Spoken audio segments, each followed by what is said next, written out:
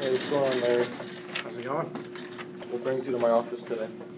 Well, um, I have a couple issues with uh, one of my workers, uh, Max Alfonso, the new guy. Yeah, Max, I know him. He's the one we hired uh, from overseas, Italy, I think, right? Um, I heard he was a hard worker. I mean, yeah, I have written down here, I agree. He's a hard worker. Um, most of his colleagues and me uh, have a few issues with Max. Um, one being he's extremely boisterous uh, when he's on the phone, extremely loud, extremely disturbing to the office. Uh, he's always up in your personal space, and um, it's not good. He uh, smells like garlic from his grandmother's garden. It's pretty bad. And I don't know if you've been with him in front of him, but That's an interesting way to put it. Um, I have heard him on the phone. He's pretty loud. Um, so I have been thinking about that, and um, I was thinking that um, one of our, our colleagues, Leah Ritchie, she's moving a different company. So um, her office is going to be open, and maybe we can use that um, for his new office. I think, and if he doesn't want to do that, then maybe he can come see me. Uh, but have you have you um, addressed it with him already before? uh, yeah, numerous times. Um, Right. even some of his colleagues, uh, they've spoken to him. Um, obviously, I'm not for them speaking. Tell them to come to me before Right. anything. So Right. That's what I assumed. Um, so we'll try to get it fixed a different way. But um, yeah. I mean, yeah, What else? Did you have any pro- other problems with him? Um, yeah.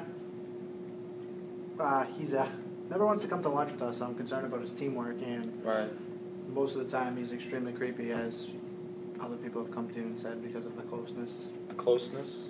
What does that mean? It's all up in your personal space. Um, I don't know if he means it or not. When he's talking. yeah. Right. Well, uh, regarding the lunch, I mean, he's not required to eat um, with the team. Um, you said yourself he likes to bring his own lunch, um, so maybe he's saving money or who knows, but um, it's not really your concern, and I don't think that would affect the teamwork. But regarding the personal space, um, I mean, he, he comes from Italy, right? So he probably comes from a culture where they're close, they stand closer in general, and um, and, and we here in America, you know, it's a little different. So to him, he doesn't, he's not trying to be creepy or anything like that. Um, as far as you know, he, he might uh, think that you're being distant with him from where you're standing. So I hope you guys can solve these issues, and uh, you can always go to Human Resources if you really needed to, um, as you know. Um, otherwise, let's try to get this fixed. Yeah, Alright? I mean, uh, thanks for your time. Um, definitely hoping to resolve this face to face with um, Max. I like the idea about um, Miss Ritchie's old office. Um, definitely sounds good. Um, Alright. see what I can do. Hopefully, uh, we won't have to go to Human Resources for this. All right. It would be a shame to lose them. All right. Thank you. you.